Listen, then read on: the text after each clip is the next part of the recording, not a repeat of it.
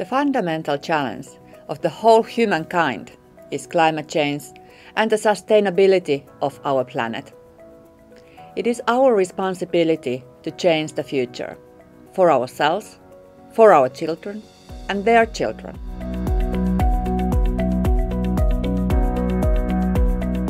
I'm very happy about the European Green Deal and the first European climate law as they pave the way to a climate neutral Europe by 2050. The Fit for 55 package is also very welcome as it gives us tools to cut the greenhouse gas emissions. We need ambitious goals and we need ambitious action. Cities play a crucial role in making this objective a reality. It is cities who provide the enabling urban infrastructure and services the lifestyle changes required. In cities, the citizens see the consequences of our actions or inactions. In Turku, we want to be forerunners.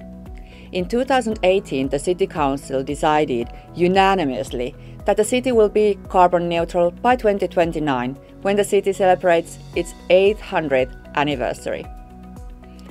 Turku Climate Plan is thoroughly embedded in our city strategy and in our actions.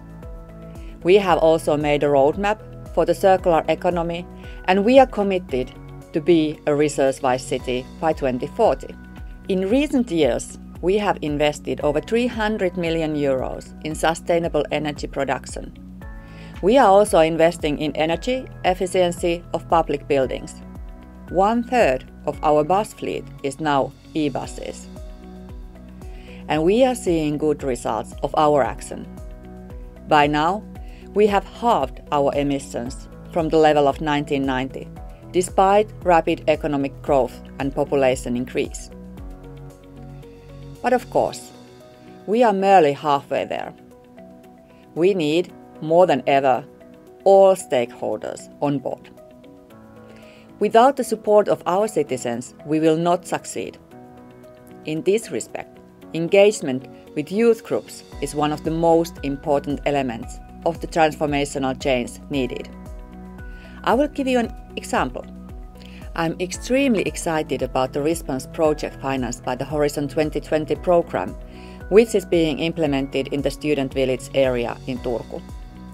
The overall objective is to create an energy positive area which generates more energy than it consumes on an annual level. Within the project, Turku will demonstrate integrated solutions, including, for example, new ways to harness and recycle energy, recovery of wasted energy, and new energy storage solutions. Creating an energy positive city district requires the residents to be active. The students living in the area are the best experts of their own living environment. The student village tenant committees and peer operations play a major role. Student mentors increase awareness of energy matters in the area, share the tenants' ideas forward, and inspire them to contribute to sustainable energy use.